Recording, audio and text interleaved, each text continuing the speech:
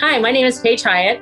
I have been on the Community Foundation board for about five years now, and I am from Fort Lauderdale. My husband's from Fort Lauderdale. He has also been on the board of Community Foundation of Broward. We are legacy uh, society members. We are fund holders.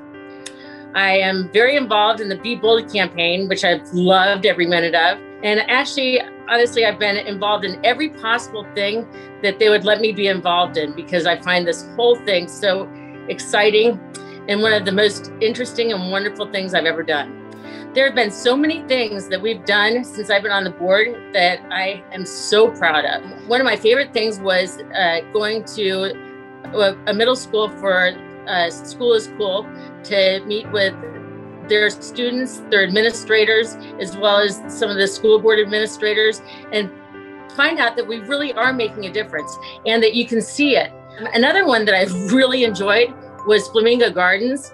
I had never visited there um, before. I had no idea what kind of um, what kind of amazing job they did with endangered animals, how they are really a sanctuary for endangered animals, how they um, really do an amazing job with the um, plants. One of our um, do- donors, the Stellas, have an area there that um, does is saving plants that are prehistoric. And I thought, oh my gosh, I love the Stellas.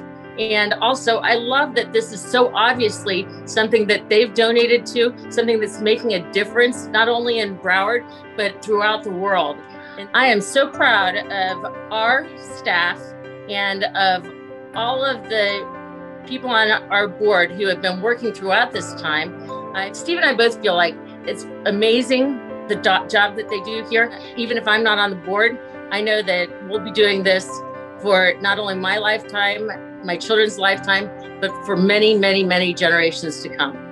I really like being able to see, touch, taste, um, enjoy being with our fund holders, our fellow um, community foundation members.